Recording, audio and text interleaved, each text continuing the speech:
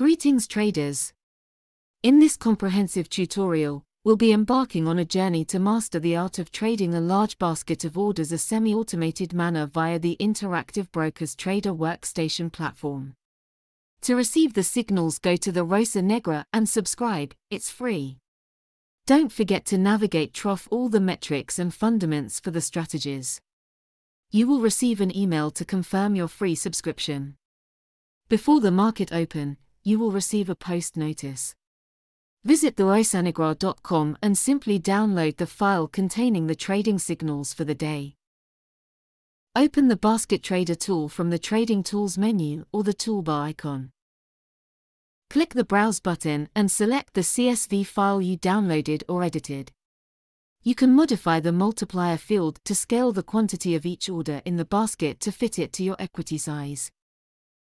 Click Open to load the file into the Basket Trader window. To trade all orders at once click on the Transmit button.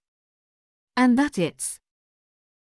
I'd like to thank you for dedicating your time to watch this tutorial. Until next time, happy trading!